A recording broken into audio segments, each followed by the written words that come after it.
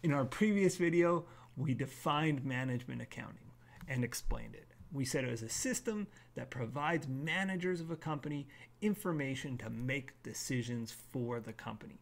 And we also explained it by contrasting it with financial accounting. We said the big difference is the users. The users are very different and they have very different needs. Financial statement users are people like bankers who want to uh, lend money to a company, investors who are thinking about investing or selling their shares in a company, and the government who wants to tax the company. And those are all outsiders to a company, and they have very different needs from insiders of a company who want to make decisions for the company. And we said because of that, insiders like very segmented, small, micro information, where outsiders just want the whole. They want consolidated financial information. And we also said they have different needs to be protected. There's really strict rules around how you provide information to your bank or to the government compared to how you provide information to insiders for making decisions. And in fact, there's no legal requirement that you make you know good information available to insiders there is a legal requirement that you make good information available to outsiders because the government wants to tax you.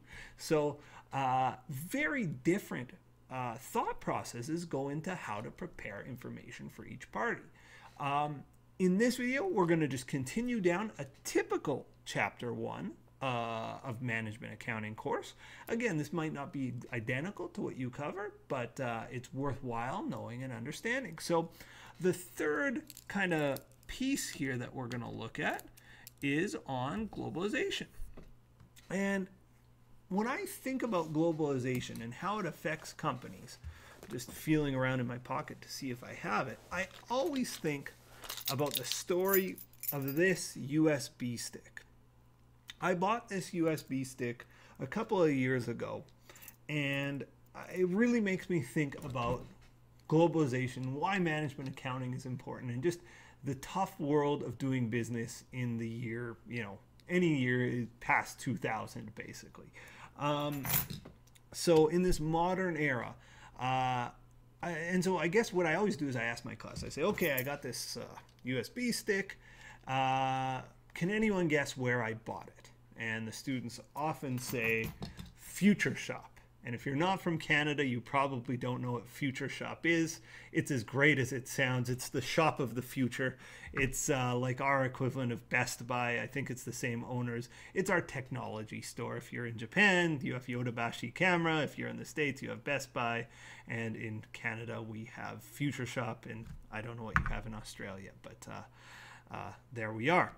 Um, so uh, a lot of them say Future Shop. A lot of them say The Source or Radio Shack. Some people just say like the grocery store. You can buy these things at the grocery store now. You can buy them just about anywhere. And uh, then I say, well, where else might I buy them? And, you know, students will raise their hand. They'll say, oh, you could have bought it on Amazon or you could have bought it on eBay or, you know, there's a lot of different places one might buy one of uh, these guys. And in fact, there's a lot of different places one might buy just about anything.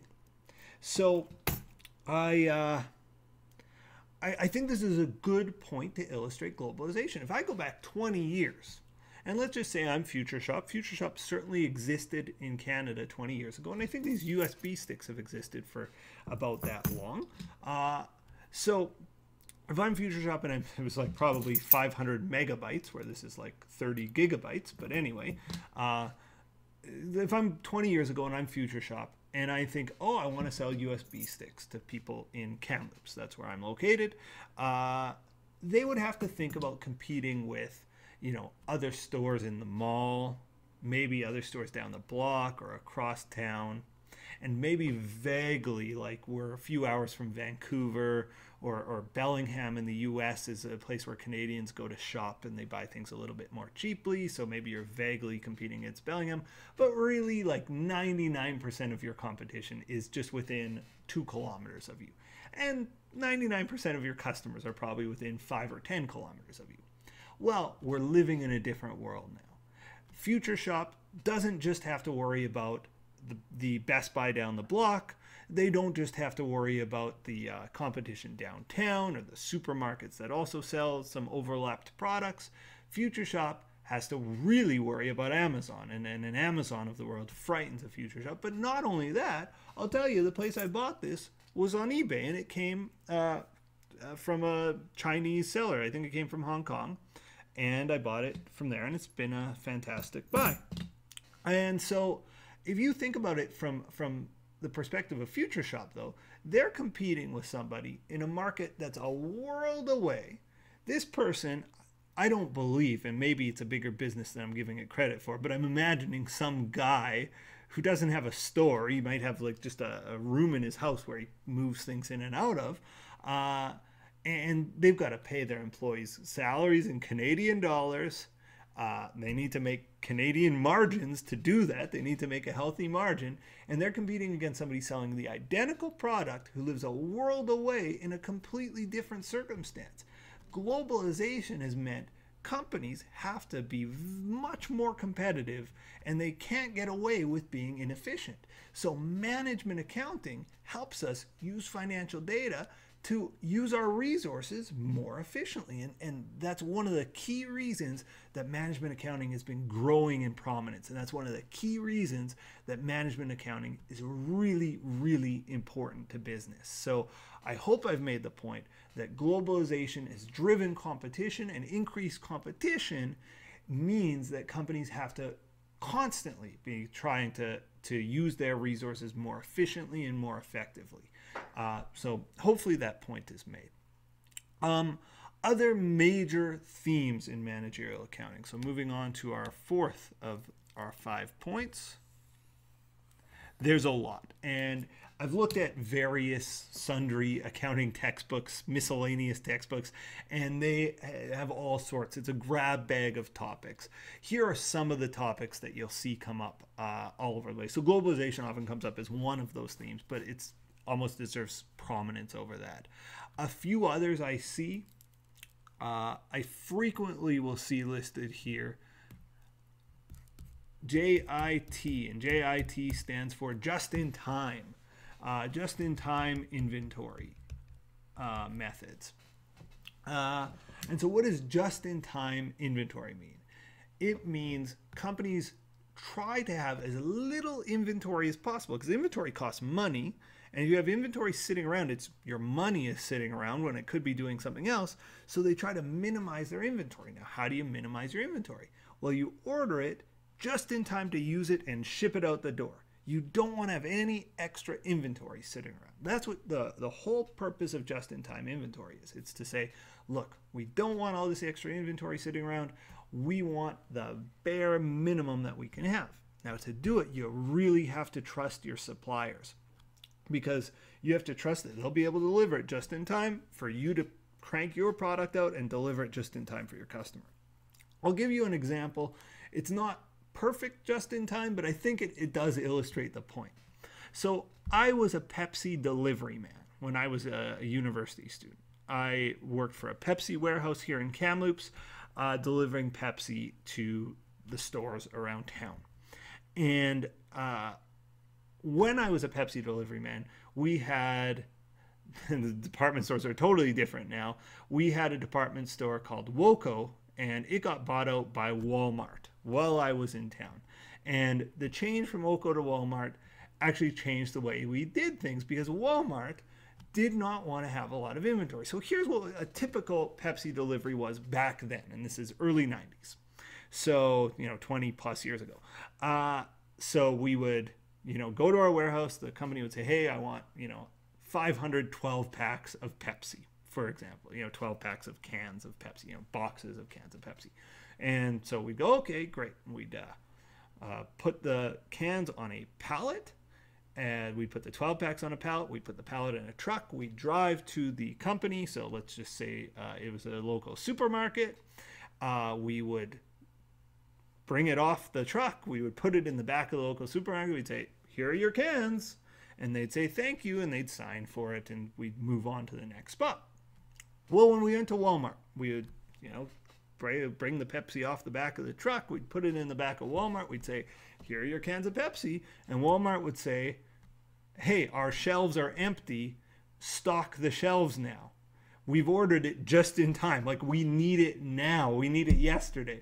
And because they're Walmart, because they're pretty powerful at that time, and again, I don't know whether that's the policy now, but at that time, we would put on a blue vest, we would go out to the shelves and we would stock the shelves for Walmart.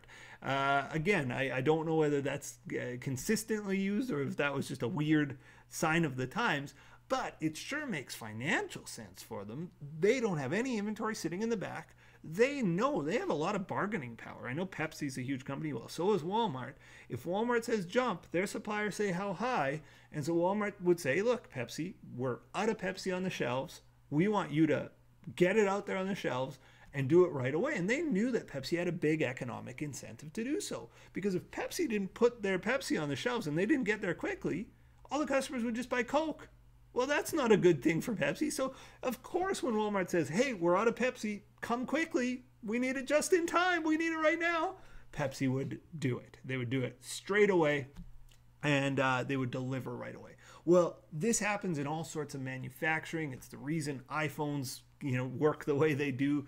Uh, when when I order a new iPhone, I I'm an idiot who buys iPhones every year, uh, and I can track it, and it's coming from a factory in China directly to me, um, and, and, you know it's delivered just in time, and and and uh, I shouldn't say that, but but it's manufactured just in time where they receive their parts, they manufacture and deliver kind of, and everything is happening very quickly, but to minimize the amount of inventory that they're holding sitting around. So they don't want to have tens of thousands or hundreds of thousands of just chips sitting there doing nothing.